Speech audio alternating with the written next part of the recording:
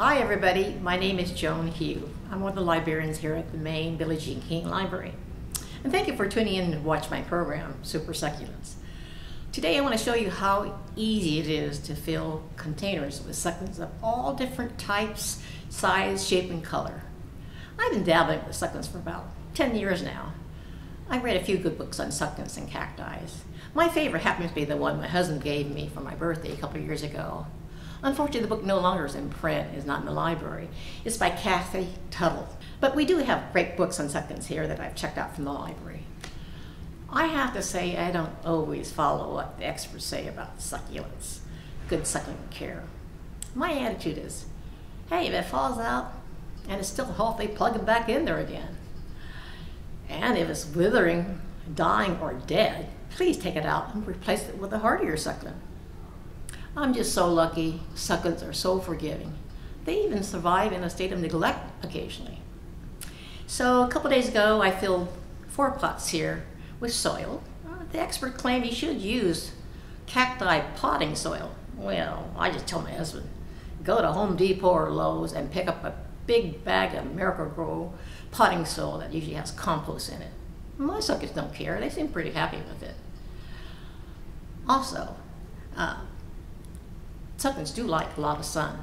Okay, so give it at least six hours of sun. Okay, and they experts say you should actually pot them in clay pots because they usually come with a hole in the bottom. Okay, this promotes good drainage. And also the clay pots retain the heat in the wintertime. But I have to admit, about 95% of my pots don't have holes in the bottom. Yes, if I was ambitious, I could drill a hole in the bottom. Mm, but I'm lazy. I'm just very careful how much water I give them. I know overwatering kills succulents like crazy. So at the beginning, I just water them in lightly, maybe once a week, eventually every other week. And when they're fully established, once a month or every other month, depending on the season of the year. So here I'm going to begin with my first pot here. Okay, I'm going to water it lightly with the soil lightly with water here. Makes it easy for me to dig a hole in it. You could use any kind of stick. I prefer a chopstick because I have plenty of them around my house. So I'm going to poke a hole in the center here. Okay, my first succulent is going to be my favorite rosette, which is a purple cress aeonium. I love it because of the color. Yeah, and this succulent is all over the place. I trim just a little bit here. And all I do is stick it in there like that. I'm going to make this one very symmetrical. So I found this succulent here. I trimmed back all of them before the show. I'm going to trim so the same size. Show you how I do it. Oops. And then I'm going to put this, since I want symmetrical, I'm to put this at a slant here because I want this to drape over a little bit here Okay, I'm gonna stick it in like this here. And stick it in there pretty tightly here. Since I want symmetrical, I'm to put this on the opposite side. Okay. To do it like this here. Okay, I'm going to continue going on. I pick this second here. And I'm going to poke a hole on this side here And I'll pluck it in like that. And on the opposite side, put it over there. Pluck it in like that. And I continue the same thing over and over again until I'm happy that the arrangement looks full. This in here, I'm gonna make it a little lower here. I'm gonna plug in this little second here like that. And on the opposite ends, I'm gonna do something like this here. Stick it in there. And I think I'll add a little jade here. I like my jade here. Height here. This here.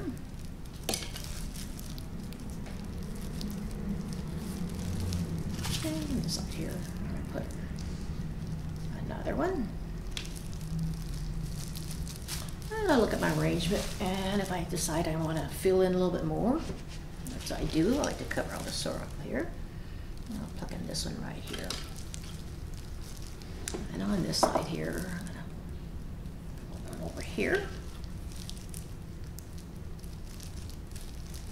That's my arrangement. So when I'm happy with the arrangement, I just water it lightly. I try to water the soil and not the plant itself. This one's a little tight here. Careful not to overwater. Try to water the soil and not the plant. The leaf doesn't like this water because it becomes moldy.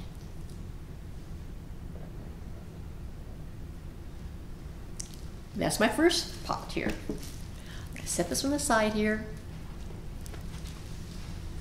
My second pot, I'm going to use a clay pot. This one does have a hole in the bottom. And this clay pot here, a little water here.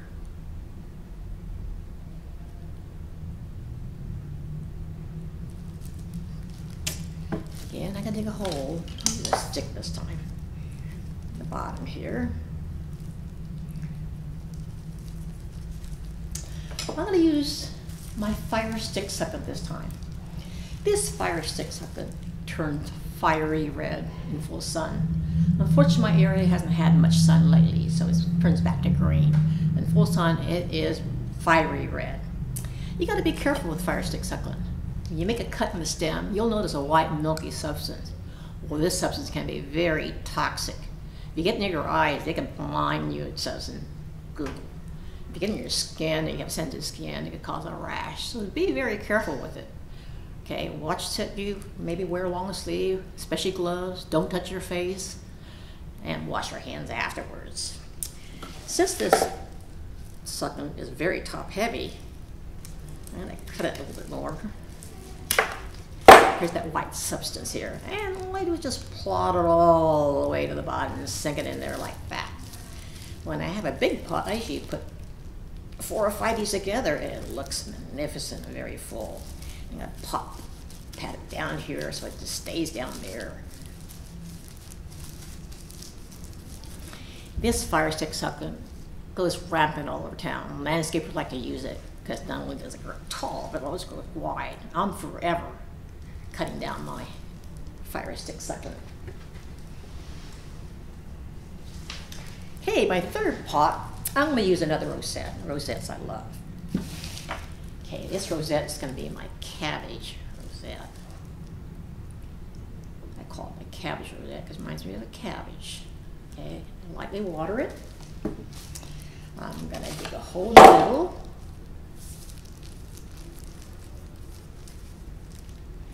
Okay, my cabbage rosette looks like this. I think I might trim this one here like that. And this one here is top heavy, so I like the stem to be very long. I'll cut a little bit here. And all I do is just stick it right in there.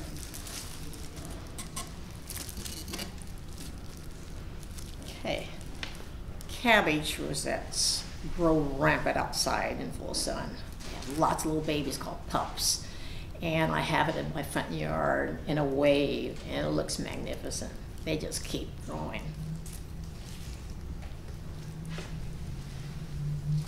And my last pot is a cute little teacup.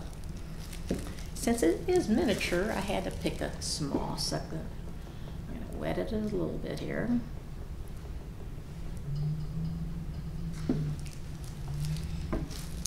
My chopstick again. So I had to pick a second that's very, very small. So I'm going to put a trail of three of them together. This has a little purpley blue shade to it. Stick it down there.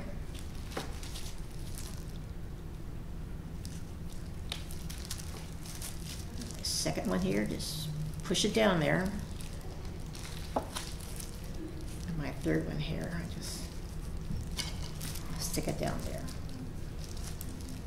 Again, at up getting only water them once a week, eventually twice a month, fully established, maybe every other month, depending on the season.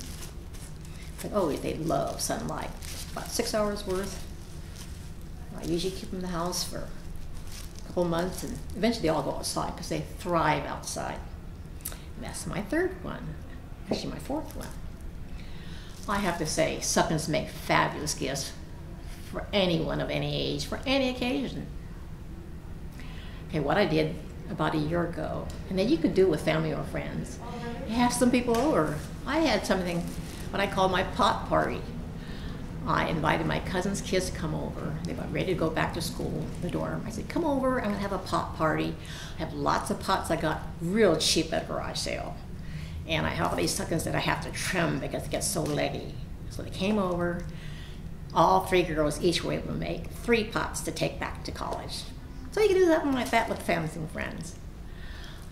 They may actually make great displays inside the house too, because they are offer a variety from the greenhouse plants you have. A good copper conversation here.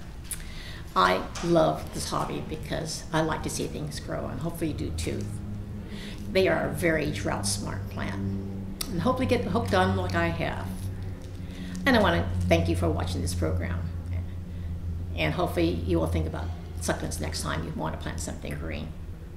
Thank you.